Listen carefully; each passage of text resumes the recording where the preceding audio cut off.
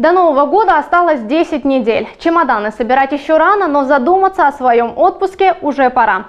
Мы провели небольшой мониторинг и можем озвучить, что предлагают туристические агентства.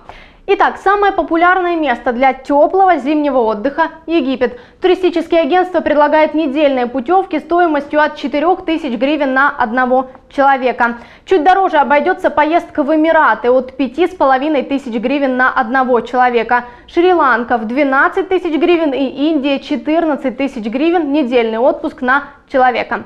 Также на Новый год вам смогут предложить поездки в Европу. Самая дешевая – Польша. В недельный тур туда можно съездить за 4000 гривен на одного человека. Ну а заграничные лыжные курорты вам обойдутся от 9000 гривен. Есть варианты и более бюджетные – это западные регионы Украины. Рождественский Львов предлагает различные праздничные фестивали. Недельный тур вам обойдется в 2500 на одного человека.